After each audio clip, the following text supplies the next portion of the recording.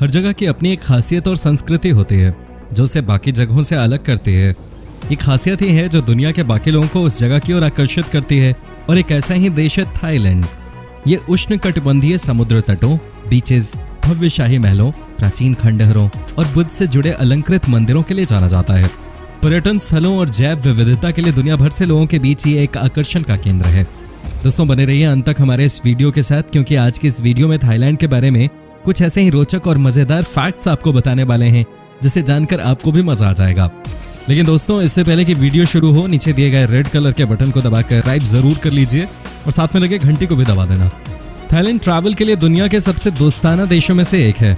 वैसे तो थाईलैंड का नाम हमारी जहन में आते ही पार्टी थाईलैंड बीचेस भाट खेलियाँ करते लोग और ढेर सारा मनोरंजन याद आने लगता है। और सही बात भी है, यहाँ हर साल लाखों पर्यटन थाईलैंड की ओर अपना रुझान दिखाते हैं। थाईलैंड का मतलब होता है फ्री लैंड, यानी आज़ाद भूमि। थाईलैंड को पहले श्याम देश के नाम से भी जाना जाता था।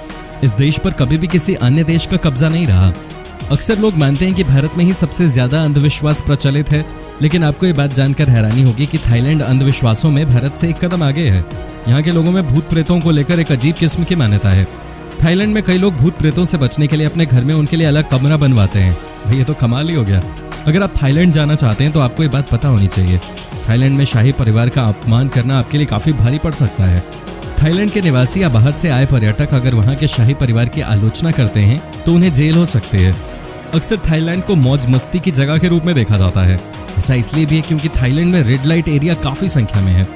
थाईलैंड बौद्ध धर्म के मंदिरों के लिए भी प्रसिद्ध है। यहाँ के पंचानवे प्रतिशत लोग बौद्ध धर्म के अनुयायी हैं।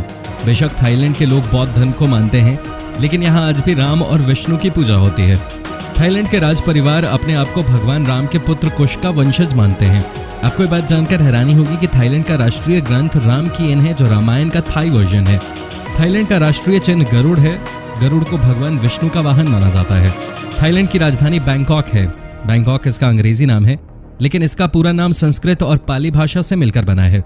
ये इतना बड़ा है कि इसे आप ठीक से बोल नहीं पाएँगे, इसलिए औपचारिक रूप से इसे बैंकॉक कहा जाता है। थाईलैंड को पहले श्याम देश के नाम से जाना जाता था।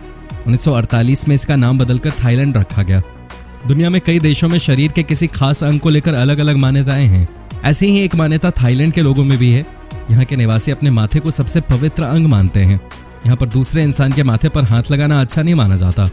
तो ये थी थाईलैंड के बारे में कुछ बेहद ही मज़ेदार बातें। तो दोस्तों, आपको वीडियो कैसी लगी? अपनी राय हमें नीचे कॉमेंट बॉक्स में दीजिए ना। और अगर वीडियो अच्छी लगी हो तो इसे लाइक करें। और अपने दो चार दोस्तों के साथ शेयर भी कीजिएगा। तो चलिए मिलते हैं एक नए टॉपिक के साथ अगली बार। धन्यवाद।